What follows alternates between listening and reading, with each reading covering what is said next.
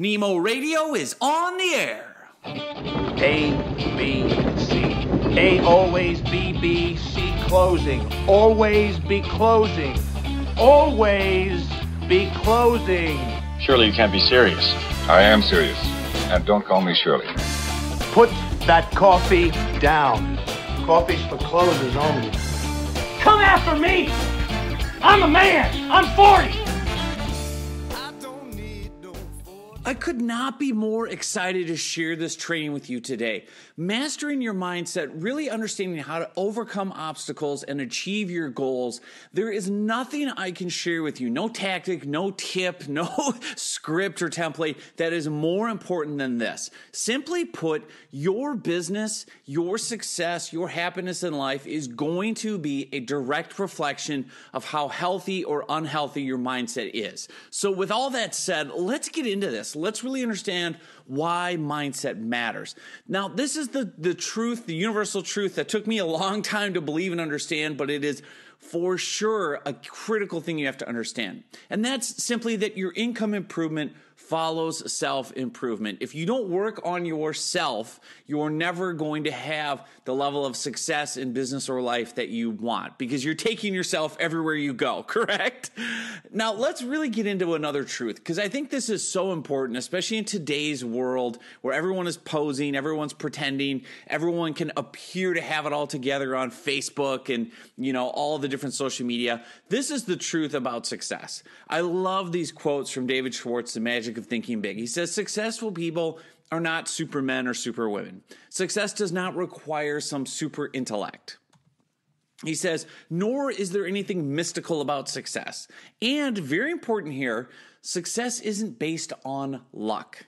Here's what success really is. I love this. He says, successful people are just ordinary folks who have developed belief, and this is mindset, in themselves and what they do. I love that. I love that. And I want you to hold on to that quote and get inspired and get fired up because the reality is we are all ordinary people. that's, that's the great thing. We're all equal in this game. And once you develop that belief and mindset, there's no holding you back. So let's get into this. Let's really dive in to this core part of mastering your mindset. I cannot wait to share this. This is also the big secret when it comes to all the motivational tools and positive self talk and all the things and all the tactics that you may have tried and seen fail or they stopped working after a period of success. There is a reason. There's a specific reason why these tactics wear off or don't work to begin with. And that simply is you cannot outperform your self image. Well, let me give you an illustration to really explain what I mean when I say that you can't outperform your self image. It's really like a rubber band. If you think about, you know, positive self-talk and motivation and willpower and I'm going to do it today, it's like stretching or pulling a rubber band. But your self-image, like in this illustration, it's where the finger is, right? Eventually what's going to happen, right? When you slip up, if the rubber band slips off your finger where you're pulling, it's going to snap back. And that's how this works with self image. If you're only working on the external pieces, you know, motivation and willpower and positive self talk, but you're not dealing with your core self image, it will eventually snap back. And I've really seen this in my own experience that the self image will set the boundaries of individual accomplishment. Self image will define what you can or cannot do. That's from Maxwell Maltz and Psychocybernetics. He talks about this, and, and this is the rubber band effect. He says positive thinking will work, but it has to be consistent with your self image. At the same token, it literally cannot work if it's inconsistent with what you believe to be true about yourself, what your self image is. That's why eventually everything snaps back like a rubber band. So we've really got to address the self image as the core part of this. So let's start at the beginning. Let's really help you get a clear understanding of how and where your self image is created. And it really starts early in life. And here I'm using real life illustrations. Here I am, age probably four or five years old at a T ball game. I still remember that. So excited to play T ball. And, and, really, where your self image develops is these early life experiences. It's not typically because you're a kid, it's not like you're consciously developing what you think about yourself. But here's what happens what comes into your life, the experiences you have, they become what I call your default or autopilot setting. And this self image, what you believe to be true about yourself, really shapes the rest of your life going forward, which is right a lot to put on a kid. Um, but this is how it is. Your self image really is built up from this is the key thing your own belief about yourselves, not necessarily the facts of your experience, the facts of your upbringing, really your interpretation, your belief as a kid at a very subconscious level. Now, here's what's interesting about this most of these beliefs about yourself, again, are unconsciously formed from past experiences, successes and failures, humiliations and triumphs, all those different things, and the way other people have reacted to us, especially in early childhood. So, this is where your parents come in, right? Your mom and dad, and siblings, and teachers, and other people again, you're a kid, you're really developing still these beliefs, and people are modeling and mirroring to you, you know, what type of person they think you are. Now, here's where it gets interesting. Once an idea or belief about yourself goes into this picture you have, this belief, this vision of who you are, it becomes true, right? As far as you are concerned, this is the truth about you. You're a loser, you're a winner, whatever it is. It doesn't matter what the facts are objectively. If you become, uh, if this gets into your mind as a picture, it becomes true. You don't question its validity Again, it's not objective, it's not factual. You just proceed and act upon that belief as if it were true, as if it were the verdict on you, the facts. That's just it. That's how it is. That's who I am.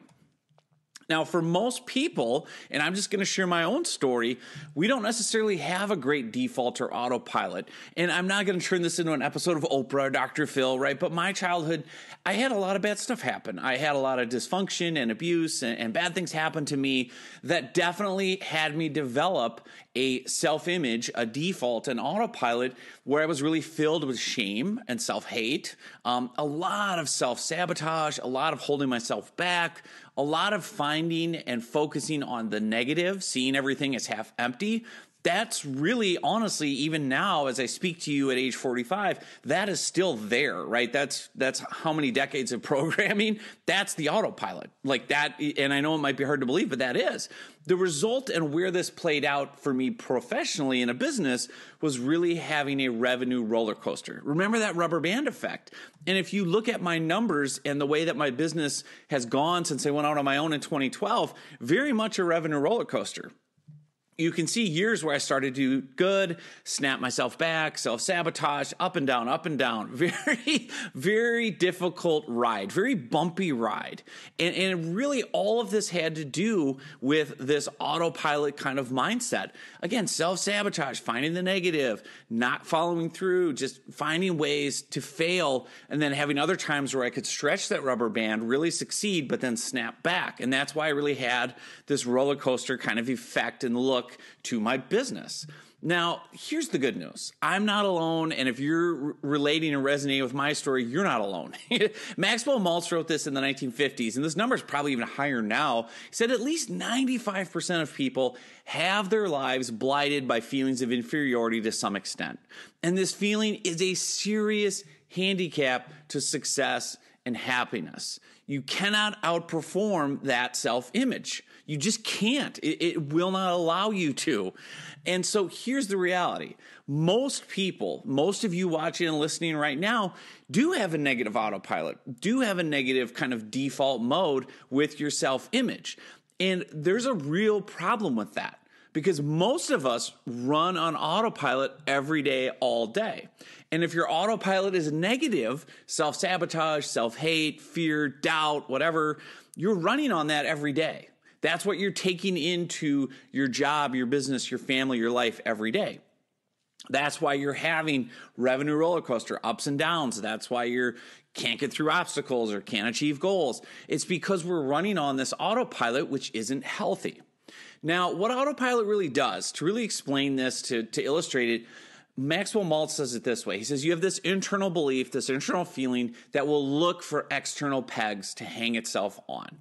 You know, the classic example is half full or half empty. You will either, depending on your autopilot, depending on your self image, you're either going to see obstacles or opportunities every day.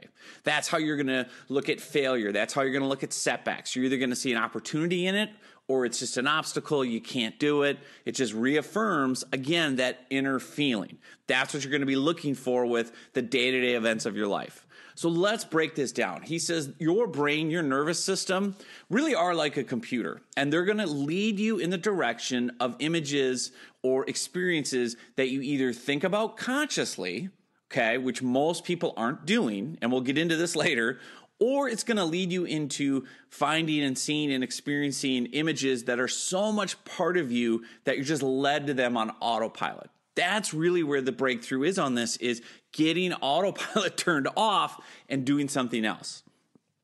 That is what I'm trying to say loud and clear here, screaming it from the mountaintops. You've got to turn your autopilot off. And, and let's really talk about this changing your self image. Because again, all the external stuff won't matter motivation, positive self talk, uh, the rubber band effect, it's going to snap back unless you start inside in the core with your self image. So let's talk about this because most people will look at their self image and think, okay, well, intellectually, I'll just fix it. But that's not how it works. The self image is changed for better for worse, not by intellectual knowledge alone, but by experiencing. So, what I mean by this is you can't just read a book and fix your self image, right? You have to do this creative experiencing. This is where I got stuck, to be honest with you, for years. I kept trying to think my way intellectually to a different self image and not doing what I'm going to show you with the experiencing. So here's again what Maltz is saying in Psycho Cybernetics, his book. Wittingly or unwittingly, you developed your self image by creative experiencing, how you interpreted and felt about the events in your past. Here's the great news you can change it. You can change it by the same method. Here's the thing your self image results from what you've experienced, correct? Not from what you've learned intellectually. It's not about knowledge and lessons and thought. It's about creative experiencing, which we're going to talk about here in a second. Now, what this does and what you can do, and here I am in my all my little league glory. That's me. I'm going to explain that photo in a second. But what it works, what it actually looks like, and I have a lot more training on this, is daily visualization.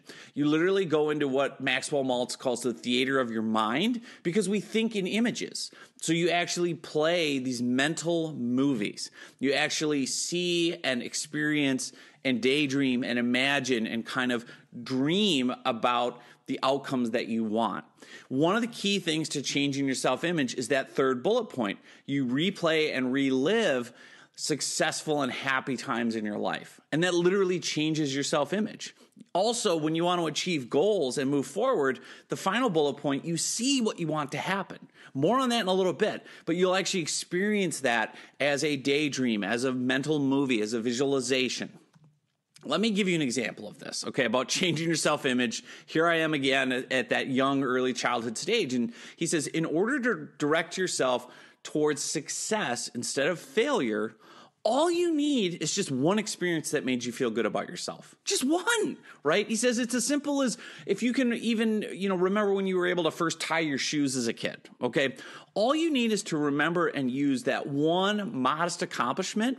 That can be the foundation, the linchpin to improving yourself image. And let me give you a real life example of this. This is one small success that I had that I have used to improve my self image here I am again. I told you I had this photo for a reason. North Star Little League, circa 1982. Right, this is me, my first Little League team. My first at bat of Little League, I hit a home run. I, I, I, hit a home run, right? It was the greatest moment ever for seven year old John. Uh, by the way, I never hit another home run again that season. Okay. It was a, it was like a one shot lightning struck, hit the ball perfectly, ran around the bases. But what I found was when I would sit and visualize, this was one modest accomplishment, small success that I so vividly remember. So I would sit in my chair. I would put on some kind of headphones to block out the noise, and I would replay that seven year old childhood memory as a movie in my mind. And it's important to bring in all the details, the sensory, emotions, all of that. So I would see myself hitting the ball. I would feel the bat in my hands. I would feel the oversized helmet bouncing on my head as I ran around the bases. I would hear my, you know, steps, uh, feet scraping the dirt. I would hear the parents and their lawn chairs cheering. I would see myself bouncing around the bases. I still remember when I rounded second base and the ball was still rolling in the outfield and the kid was chasing it. I started crying. Like I had tears of joy because I knew I'm going to get a home run. Oh my God. Like I've never done anything like this. Tears of joy. So I re experienced that. I feel those emotions internally here at age 45, what, 38 years later. I see myself rounding third. I feel myself stomping on home plate and the noise it made. And I feel my, you know, seven year old teammates mobbing me and hitting me on the head. And I relive it as a moment. What that does, that five minute mental movie, whatever it is, all of a sudden my brain is just flooding endorphins. I'm feeling excited. I'm feeling like I can conquer the world. I'm reminding myself you have what it takes. You are successful. You came through and I feel great. Like I literally change my brain chemistry. This is how our brains work. This is how powerful visualization is. I'll give you another example. Another example of how you use and reprogram your self image through these creative mental movies. Here is how I overcome self doubt and self sabotage and a fear of failure. Again, that's typically my autopilot is holding myself back, self sabotage, self doubt, all again from the childhood negative things. So, how do you overcome that? Well, I have a very, very vivid memory, again from early childhood, and I've told this story in other places before, but it all has to do with an eighth grade baseball game. Now, I loved baseball growing up, I loved playing, and in practice, I was a great player. I could hit line drives, I could really, you know, catch and field and play great, but I was afraid during games to swing the bat. I had this immense fear of failure. So, seventh and eighth grade, I would never swing. I would go up every at bat and I would either walk or strike out. Literally, like I never swung the bat. I was that terrified. And what happened my eighth grade year, this was a real moment. It was like a movie. I can still see it uh, in my mind's eye. And this is a memory that I relive. There was a kid, I'll call him Biff, who had transferred uh, after seventh grade from our school to a rival school for eighth grade. So we were playing his team in eighth grade baseball game. He knew me. He had seen my fear of failure. He had seen me freeze up at bat during games. So when he was pitching against me, I came up to bat and he yelled so everyone could hear the team, the parents, the coaches, move in. He's afraid to swing the bat. He's not even going to swing. Everyone started laughing. All the parents, the kids, everyone was laughing, right? Biff was taunting me from the mound. I mean, he's a bully. That's what he does. And he's just grinning. I can still see his just, oh, I just, I was not a fan of Biff. But anyway, here's what happened to me internally. I hear the laughter. I hear the jeers, the taunts, the bully staring me down with this big grin.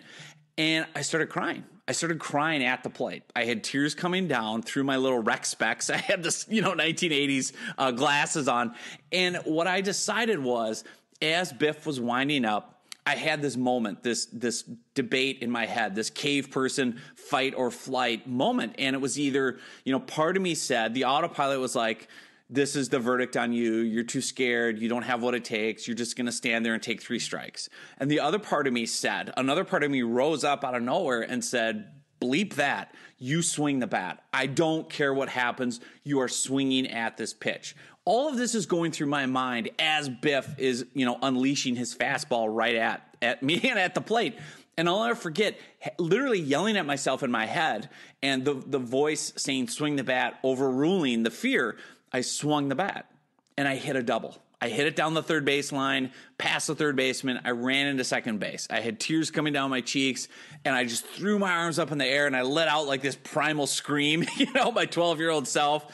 And my bench, my teammates went crazy because they hated Biff too, obviously. He was a bully to everyone. And I started just cheering and, and I was taunting Biff back. And I started yelling stuff like, this is like slow pitch softball, guys. Let's hit him around.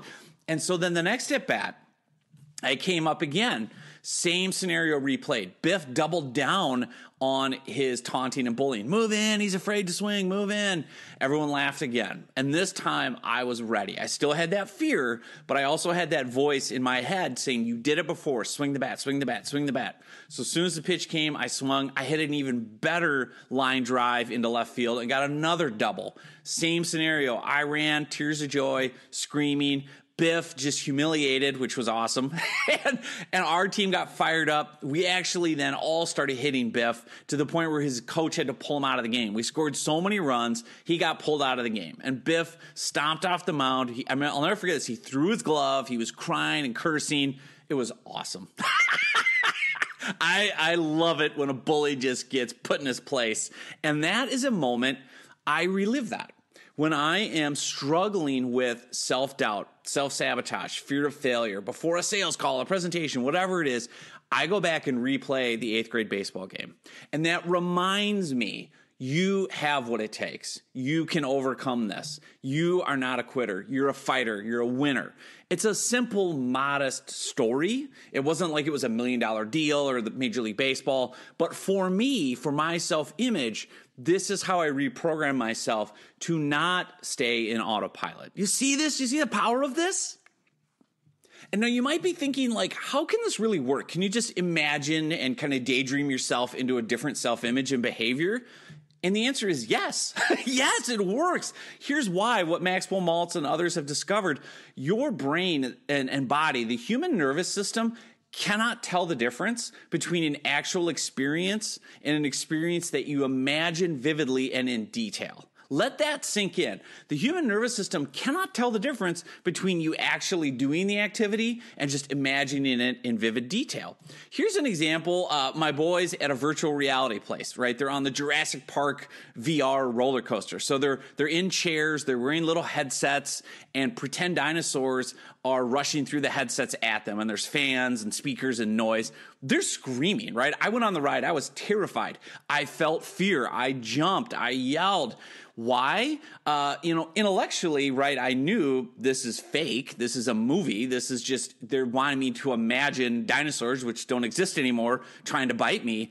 But again, my brain, my nervous system couldn't tell the difference. This was a vividly imagined, vividly pictured experience. So your body reacts that way. It's the same reason you jump when there's a scary movie, right? Like you're imagining it. That's why this stuff works. That's how you reprogram is this creative experiencing or what Maxwell Maltz calls it is synthetic experiences. He says visualization literally, literally they've done the science on this. It rewires your brain. It rewires your brain. It changes your self image. That's why this works. Now, the great thing about this is it builds in new memories or new data. Remember, your brain, your body, your nervous system, it's like a computer. It's unemotional. It doesn't care what you feed it in terms of goals and visualizing and everything else, it's totally going to just act on whatever you feed it. So if you're feeding it positive memories and reliving successes, it's storing that data. It's it's really rewiring yourself to say, "Oh yes, okay, you want me to have you act as if you're super successful and you can overcome obstacles. Great. I will carry out those orders here, you know, like a computer." This is where it gets really cool. And this is where I'll share a personal story of how this happens after you're doing this, if you're creatively visualizing, just using some of the examples I gave you today, after doing it for a time, you will be surprised, and this is true, and this happened to me. This is what Maltz says. You will find yourself acting differently. You will. You'll act differently. But here's the coolest thing it will more or less be automatic and spontaneous. You don't even have to try. You just start acting differently. Because again, your body, your brain, your nervous system is going to carry out the goals that you give it. And if you're feeding it these creative visions of, hey, I want you to, you know, feel confident and successful and, and close this sale, you will act differently. You will spontaneously act different. So let me give you some great news. This is easy. This is easy to do. This is the great thing. And here's what Max Maltz says. He says, This is as it should be. He said, You don't need to try to make an effort today in order to feel ineffective and act inadequately, correct? You don't wake up and do like a negative workout and go, I'm going to hate myself today. I'm going to have shame. Yeah, let's go. Like, you don't have to stress yourself to feel bad. So he's saying like your present inadequate feelings and doing it's automatic, it's spontaneous because of the memories, real or imagined, that you've built in. Right? He he calls your brain, your nervous system, this automatic mechanism. You have fed it these kind of mental movies, these goals, these visualizations that are just there, right? And so it's going to execute on that and make sure you feel bad. Now he says, here's the great news, it will work just as automatically on positive thoughts. It works just, it's the same because again, it's a machine. It's not a person. Your brain, your nervous system, it is like a computer. It will work on whatever data that you put in.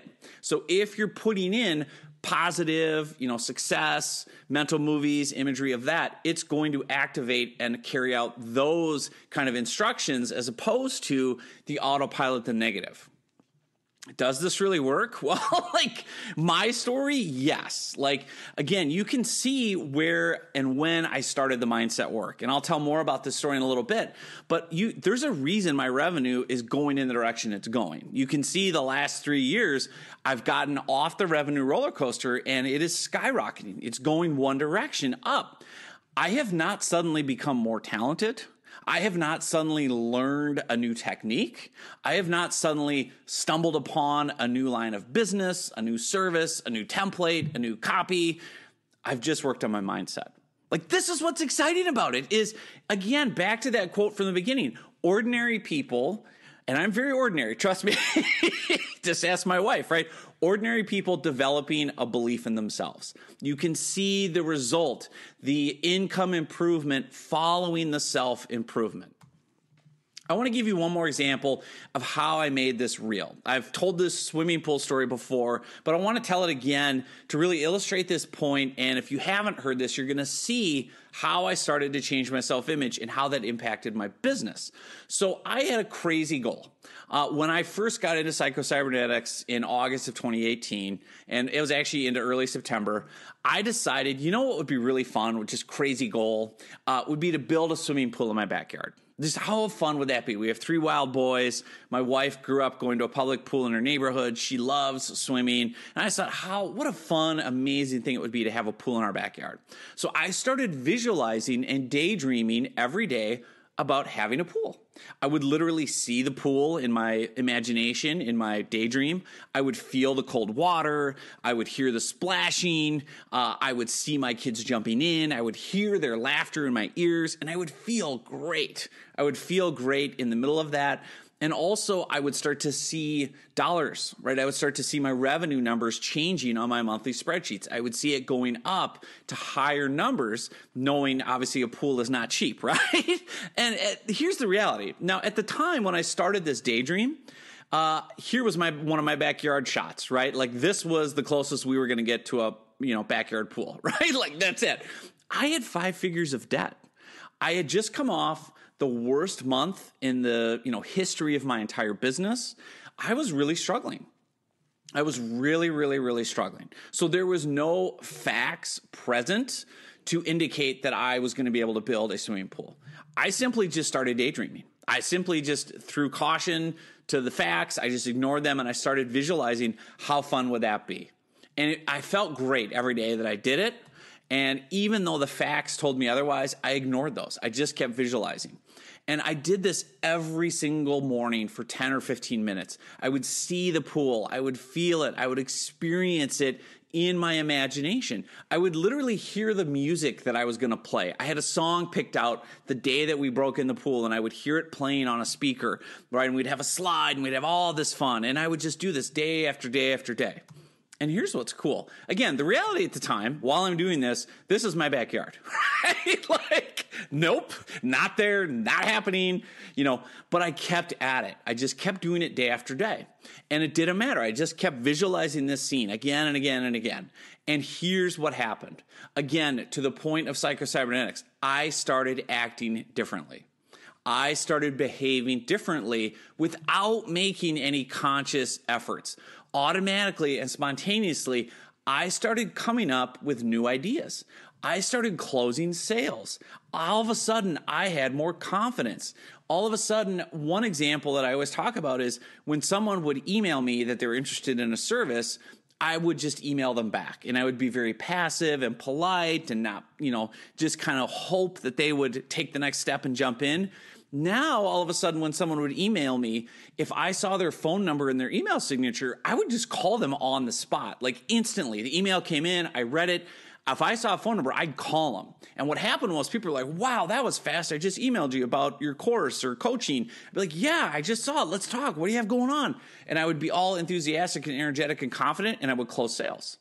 I was doing that automatically and spontaneously. I didn't do that before, right? That was a new thing I just started doing because, again, I had this goal. I want to build a pool. I need to make sales.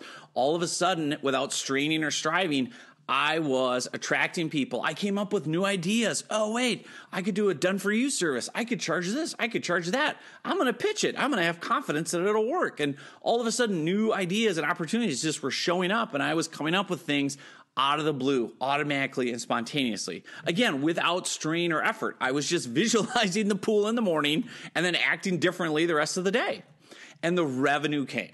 Like this, and again, the numbers are not important. This was my monthly sales at the time. And for some of you, you could say, well, wow, you think August was a bad month? I'd kill to make $19,000 in revenue in a month. That's amazing. Other others watching might go, dude, I make $19,000 a minute. Like, no big deal. The numbers are not important, the totals. It's the growth. So, this is what happened to me.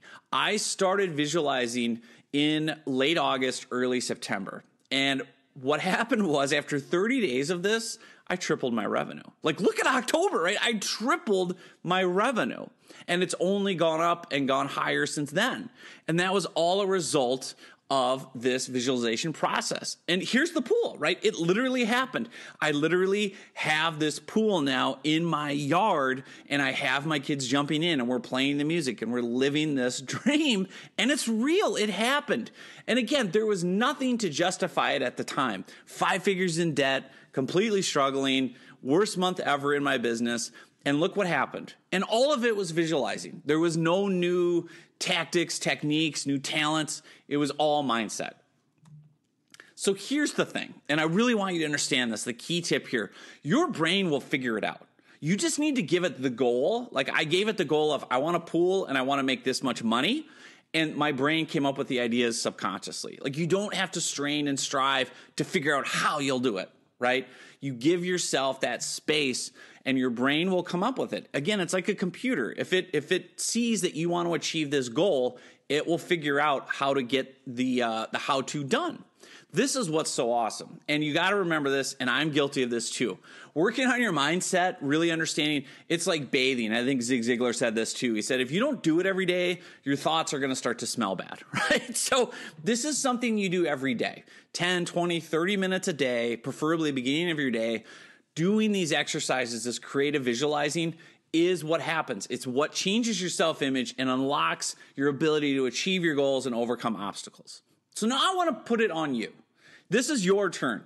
I want to know are you running on autopilot? Yes or no? And if you if you're on the live training right now, type yes in the comments or no. Let me know in the comments are you running on autopilot? And also, do you want to master your mindset, to become happier and to achieve your goals? Do you feel like you're falling short? Because again, if you go back, 95% of us have these feelings of inferiority. We struggle. We're running on autopilot and it isn't positive. So do you want this? Do you want to master your mindset, become happier and achieve your goals? Yes or no? Here's the great thing. You always have a choice. Life is always about choices. So you can stay where you are or you can take a new action right? That's the choice we all have every day when we wake up. And the big thing, the best advice I ever got from my business coach, John Michael Morgan, was he said, you know, you cannot be victorious if you're going to be a victim. Like if you stay where you are and it's everyone else's fault and it's the economy and it's coronavirus and it's whoever the political leaders are and blah blah blah, you're never going to be victorious because you're being a victim. You're letting other people dictate whether or not you can have the life that you want. And the reality of course is you get to decide. Like no one's holding you back but you. That's the big secret of all of this with mindset is the number one obstacle that you've really got to deal with typically is yourself and your mindset. So the reality is, if you want new results, you take new action. That's the key thing here. So when it comes to mindset, the best part is like, look at me. Like, if I can do this, if you're watching this, like, why can't you? Like, why can't you have a pool in your backyard? Why can't you um, achieve whatever goals you have financially, physically, emotionally, whatever it is? There's no reason you can't. I mean, look at me, right? Guy with a bucket on his head, doing this on the internet, and I'm having success. And here's why. Here's why. This is the truth back to the beginning of the presentation today. Successful people are just ordinary folks, just like you, just like me, who have developed belief, mindset in themselves and what they do. Does that not get you fired up? Do you not understand? This is available to you. So here's what I would love to do. I have one more question for you. Are you ready? Do you want to master your mindset and achieve your goals? Yes or no? Let me know in the comments, in fact. If you're on live right now, you're not watching the replay, type yes in the comments if you're ready to do this. If you want to master your mindset and achieve your goals, type yes. Tell me. I need to know I'm with my people. Glory. All right. If that's the case, I want you to get the course. I've put all of this together into Mindset Mastery.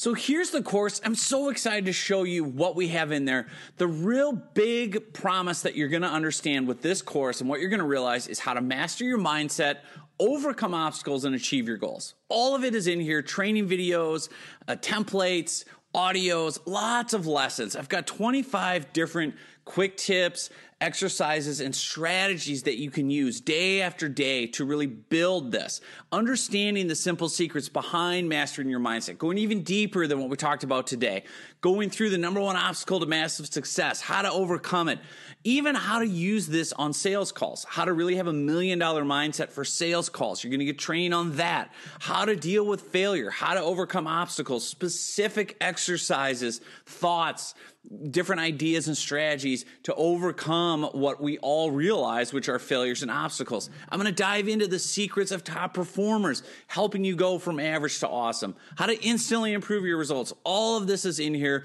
Personal branding, how to become a big deal online. I'm going to have my book fired up, all of it. Lifetime access, 30 day risk free guarantee. It's only 397. Like if you're not willing to invest 397 into you, into your mindset, into the success that you can have for the rest of your life, then I, I don't know what to say because I want to make this affordable and available to everyone watching right now. Um, this is something that's game changing for you. This is for your life and your business, income improvement following self improvement. So I want to make the investment something that's not a hurdle, not an obstacle, not fearful for you. And again, it all comes with a 30 day risk free guarantee. So you can try it out. You have 30 days to test everything, make sure it's a good fit. If you don't like it for any reason, you're going to get a full refund. Now, here's what I want to show you inside the course. I've got this all uh, out in different sections. So you're going to see we've got a section on mastering your mindset, mindset and sales, the quick tips and techniques. I'm going to dive deep into the book Fired Up, which really helps you tap into your passion, your personal brand, all kinds of different techniques. There's a workbook in here. You're going to get all kinds of access to different trainings and lessons. You're really going to understand through these different um, techniques how to get in and get these results. So, like for instance, here's an audio lesson: the secrets of top performers, and then I've also got text included. You can download it. You're going to be able to really understand how this works, how mindset really comes together. You're going to get training replays of different mindset lessons. Going to be able to give you access to those slides, presentations, templates. Oh my gosh, there's so much good stuff in here. Uh, I cannot wait for you to get your hands on this, understanding how to get a massive advantage online with personal branding, walking you through that, giving you tips and text and templates. All of it you're going to have lifetime access to, right? Really understanding the course. All of it is done in Thinkific. So if you already have purchased courses from me, all you have to do when you sign up today through the checkout page is you'll just see when you log into Thinkific, these are all my different courses that I have on Thinkific right now. It will just show up. And this is what Mindset Mastery will look like for you. So once you get signed up today, This course will be there with your other ones on Thinkific. Um, and yeah, that's really it. So all you have to do to get signed up, fill out your information here, choose your payment option. You can do a card or PayPal. It's only one payment, one payment of 397, lifetime access, free updates. I'm constantly updating and adding to this course. So new trainings, new videos, new scripts, new exercises. This is where it's at. This is really I cannot put into words how powerful this is. So I cannot wait for you to get started mastering your mindset. This is where it happens. If you want to have a new result, have a new outcome, you have that income improvement in your life, it starts with the self improvement. And this is all my best tips, tactics, strategies, trainings, exercises on how to master your mindset, change your self image, and really achieve whatever goals you want to achieve. Oh man, I cannot wait for you to get your hands on this thank you